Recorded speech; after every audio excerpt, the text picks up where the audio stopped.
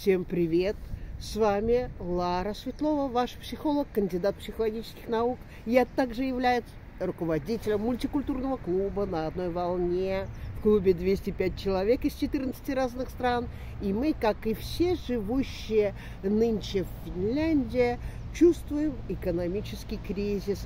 Как он отражается на жизни простых финнов и также приезжих иммигрантов – урезанием дохода во всех статьях и на образование, и на пенсию, и на социальные проекты, и на многое что другое. Э, у меня в руках э, газета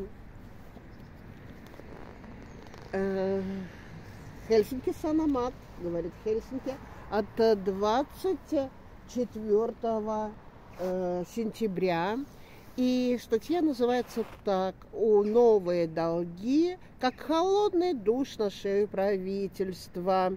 На ней изображен Петре э, Орпа, председатель правительства КОК, и также министр экономического развития Рика Пура. Сейчас дефицит бюджета составляет 4 миллиарда евро. Это огромная сумма. И она старается, э, правительство Финляндии старается компенсировать нехватку денег за счет детей, пенсионеров, семей, повышения налогов и так далее. Мы были свидетелем жесткой критики со стороны оппозиции э, многих партий, присутствующих на заседании правительства. И э, в том числе, кроме вышеперечисленных, Одна из депутатов задала вопрос, что сокращается инвестирование в сферу строительства, а ведь известно, что в строительстве также задействовано много трудовых ресурсов, которые остаются без работы. Вот, что мы хотим сказать, как простые граждане, и работу найти очень трудно, и привлекаются ресурсы извне, и правительство обсуждает проблему э, такую, что Финляндия должна быть более привлекательна для трудовых ресурс, ресурсов. Вот в это же время э, большая часть, очень большая часть, вернее сказать, э, финнов страдает от э, депрессии, и от, от э, так называемой усталости на работе они получают длительные больничные. Вот, что мы со своей стороны могли бы предложить, имея свежий взгляд на все это? Один из факторов, влияющих на комплексный анализ возникающей ситуации, является привлечение ресурсов иностранцев, которые уже живут в Финляндии. Многие из моих знакомых вынуждены были пойти обучаться на младший медицинский персонал по уходу за пожилыми людьми, имея по два диплома. Возможно, если бы эти дипломы э, и знания были адаптированы в Финляндии, это принесло бы больший экономический эффект.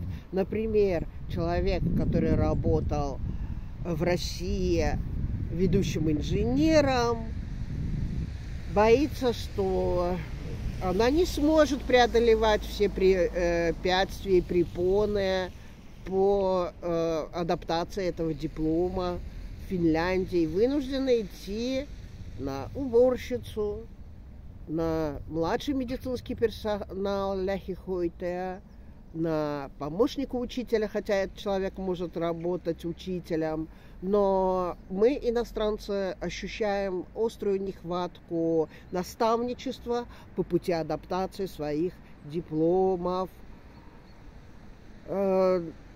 Но также мы ощущаем это на стадии обучения, когда никого из учителей не интересует наш предыдущий опыт.